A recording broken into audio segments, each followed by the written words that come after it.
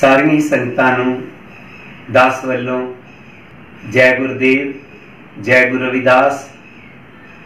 ਵਿਸ਼ਵ ਭਰ ਦੀਆਂ ਸੰਗਤਾਂ ਨੂੰ ਇਹ ਜਾਣ ਕੇ ਬਹੁਤ ਖੁਸ਼ੀ ਹੋਵੇਗੀ ਕਿ ਸ੍ਰੀ ਗੁਰੂ ਰਵਿਦਾਸ ਸਤਸੰਗ ਸੁਸਾਇਟੀ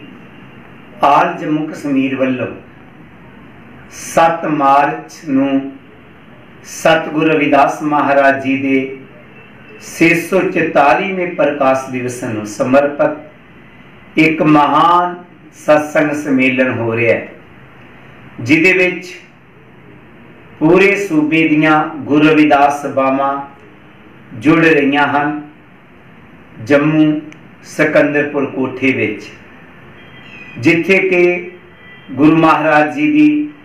ਬਾਣੀ ਦਾ ਅਖੰਡ ਜਾਪ ਪਹਿਲਾਂ ਭੋਗ ਪਾਏ ਜਾਣਗੇ। ਠੀਕ 11 ਵਜੇ। ਉਹਦੇ ਬਾਅਦ ਦੇ ਵਿੱਚ ਜੋ ਬੁੱਧੀਜੀਵੀਆਂ ਦੇ ਵਿਚਾਰ ਨੇ ਔਰ ਵੱਖ-ਵੱਖ ਸਭਾਵਾਂ ਦੇ ਪ੍ਰਧਾਨ ਜੋ ਹੈ, ਗੁਰੂ ਜੀ ਦੇ ਜਨਮ ਦਿਨ ਦੀ ਸਾਰੀਆਂ ਸੰਗਤਾਂ ਨੂੰ ਵਧਾਈ ਦੇਣਗੇ ਆਪ ਨੂੰ ਬੇਨਤੀ ਹੈ ਕਿ ਆਪ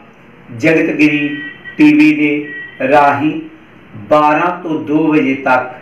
7 ਮਾਰਚ ਨੂੰ ਜੰਮੂ ਕਸ਼ਮੀਰ ਦਾ ਇਹ ਪ੍ਰੋਗਰਾਮ ਦੇਖਣਾ ਨਾ ਭੁੱਲੋ। ਜੈ ਗੁਰਦੇਵ ਜੈ ਗੁਰੂ ਰਵਿਦਾਸ।